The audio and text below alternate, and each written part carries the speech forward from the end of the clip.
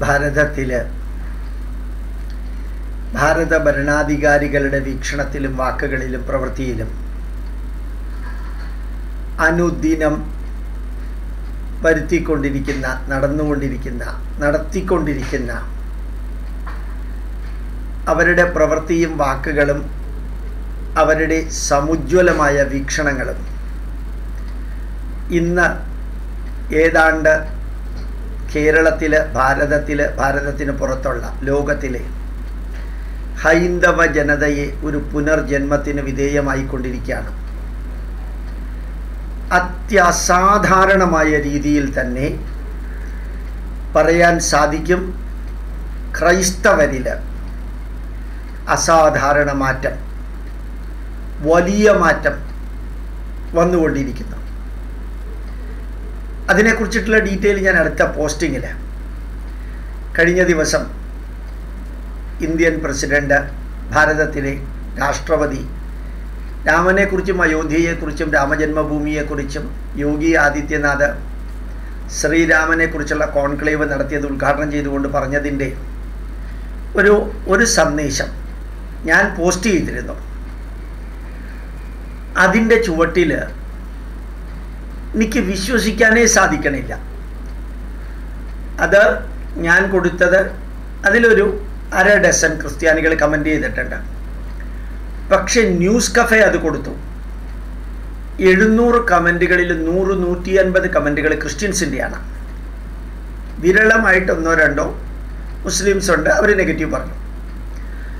ഈ ക്രിസ്ത്യൻസിൽ ഒന്നോ രണ്ടോ പേരൊഴികെ ന്യൂസ് കഫേ അത് കൊടുത്തത് ഹിന്ദു രാഷ്ട്രം ഉടലെടുക്കുന്നു ഉത്ഭവിക്കുന്നു ജനിക്കുന്നു പുനർജനിക്കുന്നു എന്ന അർത്ഥത്തിലാണ് അവർ കൊടുത്തത്. അതിന്റെ ചുവട്ടിലുള്ള കമന്റ് ഞാൻ വായിക്കാം ക്രിസ്ത്യൻസിന്റെ. ഒരു നെഗറ്റീവ് കമന്റ് അല്ലാതെ ബാക്കി നൂറിൽ പരം ക്രിസ്ത്യൻ പോസിറ്റീവ് കമന്റുകളാണ് അസാധാരണമാം വിധത്തിൽ ഒരു മാറ്റത്തിന് വിധേയമാവുന്നു. ഭാരതം. അതാണ് യഥാർത്ഥത്തിൽ സോഷ്യൽ മീഡിയയിലൂടെ ഹൈന്ദവ ജനതയുടെ മനസ്സ് ഹിന്ദു വീക്ഷണം ഹൈന്ദവ ജനതയുടെ ആചാര വിചാര വിശ്വാസ സങ്കല്പങ്ങൾ ഗ്രന്ഥങ്ങൾ. ഈ കൊറോണ എന്ന പതിനൊന്നാമത്തെ അവതാരവും സോഷ്യൽ മീഡിയ എന്ന പന്ത്രണ്ടാമത്തെ അവതാരവും തിരിച്ചു പറയണമെങ്കിൽ തിരിച്ചു പറയാം. സോഷ്യൽ മീഡിയ എന്ന പതിനൊന്നാമത്തെ അവതാരവും കൊറോണ എന്ന പന്ത്രണ്ടാമത്തെ അവതാരവും കൂടി വന്നപ്പോൾ കൽക്കി എന്ന രീതിയിൽ കൊറോണയും അതിൽ ഗംഭീരമായിട്ടുള്ള ഒരു അവതാരം സോഷ്യൽ മീഡിയയും കൂടി വന്നപ്പോൾ സംഭവിച്ചത് വീട്ടിനകത്തിരുന്ന് നമുക്ക് രാമായണ മാസം ആഘോഷിക്കാൻ സാധിച്ചു ദീപാവലി ആഘോഷിക്കാൻ സാധിച്ചു. തിരുവോണം ആഘോഷം ഓണം ആഘോഷം വീട്ടിനകത്തിരുന്നുകൊണ്ട് നടത്താൻ സാധിച്ചു.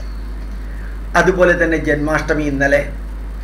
ഏറ്റവും അത്ഭുതകരം അതിശയകരം എന്ന് പറയുന്നത് ജമ്മു കാശ്മീരിൽ ഈ എഴുപത്തഞ്ച് വർഷമായിട്ടില്ലാത്തത്.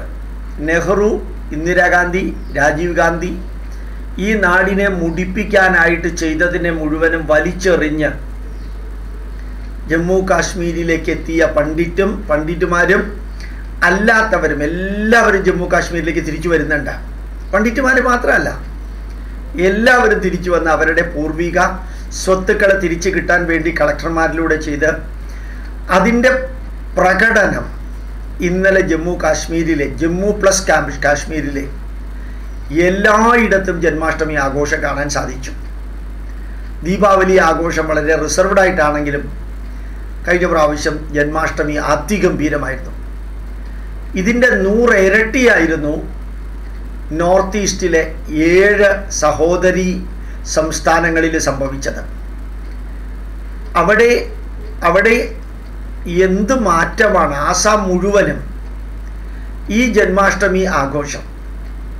അതുപോലെ നാഗാലാൻഡിൽ ഹിന്ദുക്കളുടെ ഒരു ആഘോഷവും പതിവില്ല. തൊണ്ണൂറ്റിയേഴ് തൊണ്ണൂറ്റെട്ട് ശതമാനം ക്രിസ്ത്യാനികളാണ്.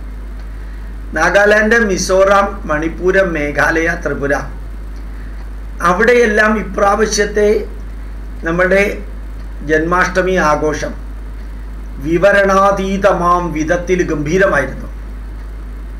മാത്രമല്ല കേരളത്തിന് പുറത്തും എല്ലായിടത്തും കൊറോണ കാരണം വീട്ടിലുള്ള അംഗങ്ങൾ ബന്ധുക്കൾ ചുറ്റുപാടുമുള്ളവർ അതിൽ ഹിന്ദുക്കളും ക്രിസ്ത്യാനികളും താല്പര്യമുള്ള മുസ്ലിങ്ങളും വിരളമായിട്ടാണെങ്കിലും ഒരുമിച്ച് ചേർന്നിരിക്കുന്നു.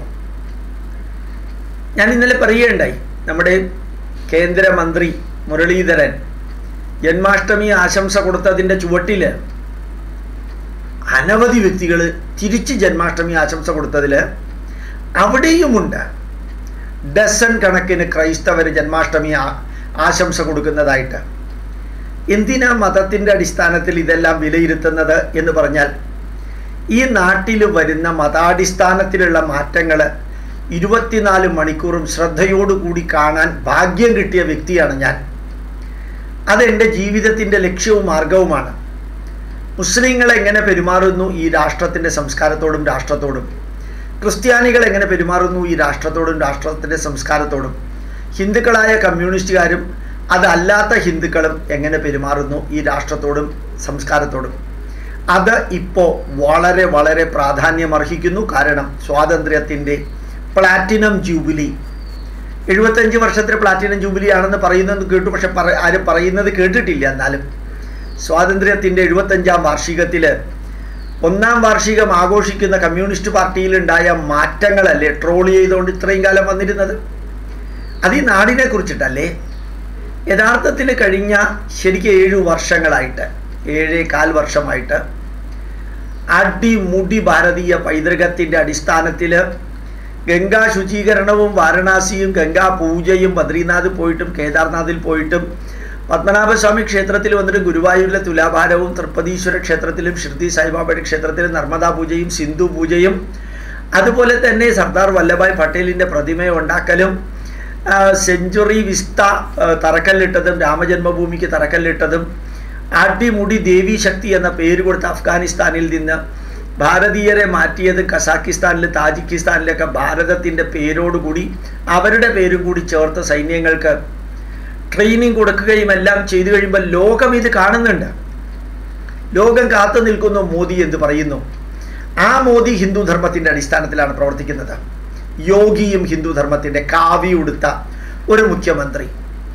അടിച്ചൊതുക്കേണ്ട നികൃഷ്ട ജീവികളെയും രാഷ്ട്രദ്രോഹികളെയും അത് ഹിന്ദു ആണെങ്കിലും ക്രിസ്ത്യാനി ആണെങ്കിലും മുസ്ലിം ആണെങ്കിലും ഇടതുപക്ഷമാണെങ്കിലും വലതുപക്ഷമാണെങ്കിലും അടിച്ചൊതുക്കിയിട്ട് ഒരു യഥാർത്ഥ ജനകാതയ രാജഋഷിയായിട്ട് ഭരിക്കുന്ന യോഗി ആദിത്യനാഥിന്റെ വാക്കുകളും പ്രവൃത്തിയും നമ്മുടെ പ്രസിഡന്റ് ഓഫ് ഇന്ത്യയുടെ വാക്കുകളും പ്രവൃത്തിയും വൈസ് പ്രസിഡന്റിന്റെ അതേപോലെ തന്നെ നമ്മളുടെ ഈ പ്രധാനമന്ത്രിയുടെ നിരന്തരം ഇതെല്ലാം ഒരു അത്യസാധാരണമായ ഹൈന്ദവ നവോത്ഥാനത്തിന് ഹൈന്ദവ സംസ്കാര ഭാരതീയ സംസ്കാര നവോത്ഥാനത്തിന് വഴിവെച്ചു. കാശ്മീരിൽ അത് കാണാം. ഭാരതത്തിലെ എല്ലാ സംസ്ഥാനങ്ങളിലും അത് കാണാം കേൾക്കാം. നോർത്ത് ഈസ്റ്റിൽ അത് കാണാം. അതുപോലെ തന്നെ ഈ ബാലഗോകുലത്തിന്റെ പരിപാടി കേരളത്തിൽ നടന്നത് പത്രമാധ്യമങ്ങളിൽ നിറഞ്ഞു നിന്നിരുന്നു. വളരെ ഗംഭീരമായിട്ട്. ഓൺലൈൻ ചാനലുകളിൽ നിറഞ്ഞിരുന്നു. മാമാ മാധ്യമങ്ങളുടെ സ്ഥാനം പോലും അവഗണിക്കത്തക്ക വിധത്തിൽ മുപ്പത് മുപ്പത്തി അഞ്ച് ഹിന്ദു ധർമ്മ അടിസ്ഥാനപ്പെടുത്തിയിരിക്കുന്ന ഓൺലൈൻ ചാനലുകൾ കസറുന്നുണ്ട്. കഴി ചിങ്ങമാസം ഒന്നാം തീയതിക്ക് മുമ്പ് ഇരുപത്തി ആറ് എണ്ണമാണ് ഉണ്ടായിരുന്നത്. എന്നാണ് വളരെ സിസ്റ്റമാറ്റിക് ആയിട്ട് അതിൽ പഠനം നടത്തിയ വ്യക്തിയുടെ ഒരു വലിയ മെസ്സേജ് ഉണ്ടായത് ഇരുപത്തി ആറ് എണ്ണം. ഇപ്പോൾ ഒരു പത്തെണ്ണം ചിങ്ങമാസത്തിനും അതുപോലെ തന്നെ ചിങ്ങം ഒന്നാം തീയതി ഓണം ജന്മാഷ്ടമി ഇങ്ങനെ മൂന്നെണ്ണത്തിൽ. ഇന്നലെയും ഉദ്ഘാടനം ചെയ്തതുണ്ട്. ഇന്നലെയും ഉദ്ഘാടനം ചെയ്ത ചാനലുകളുണ്ട് ഓൺലൈൻ ചാനലുകൾ. പണ്ടൊക്കെ ധരിച്ചിരുന്നു ടി വി മാധ്യമം ഇല്ലെങ്കിൽ എങ്ങനെയാണ് ഒരു പൊളിറ്റിക്കൽ പാർട്ടിക്ക് നിലനിൽക്കാൻ സാധിക്കാം?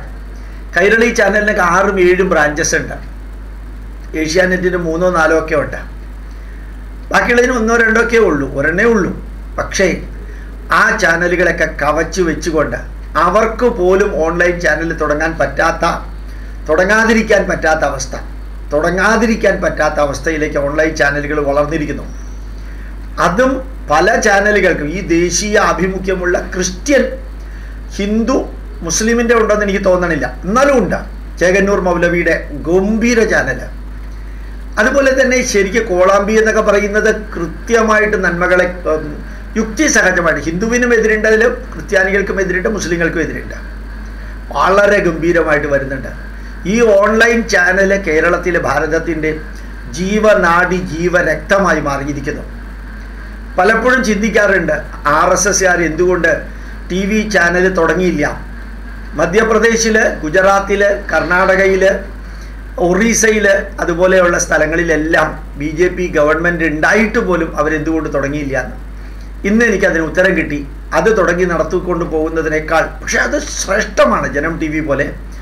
അതിനേക്കാൾ ഇഫക്റ്റീവായിട്ട് ഈ നാടിന്റെ നന്മയും തിന്മയും നന്മ ചെയ്യുന്നവരും തിന്മ ചെയ്യുന്നവരെ കുറിച്ചും എല്ലാം വരുന്നു. ജന്മാഷ്ടമി നോർത്ത് ഈസ്റ്റിലെ എല്ലാ സഹോദരി സംസ്ഥാനങ്ങളിലും ഭാരതത്തിലെമ്പാടും കേരളത്തിലും ഏറ്റവും ഗംഭീരമായിട്ട് എഴുപത്തഞ്ച് വർഷം ഇല്ലാത്ത ജമ്മു കാശ്മീരിലുമെല്ലാം ജന്മാഷ്ടമി ആഘോഷിച്ചപ്പോൾ അത് ശ്രീകൃഷ്ണന്റെ ജന്മദിനം ആഘോഷിക്കൽ മാത്രമല്ല ഭാരതീയ സംസ്കാരത്തിന്റെ ആ അത്യഗാധമായ തലത്തിൽ ഒരു തിരിച്ചുവരവ് അതാണ് അതിനെ പ്രതിനിധീകരിക്കുന്നത്.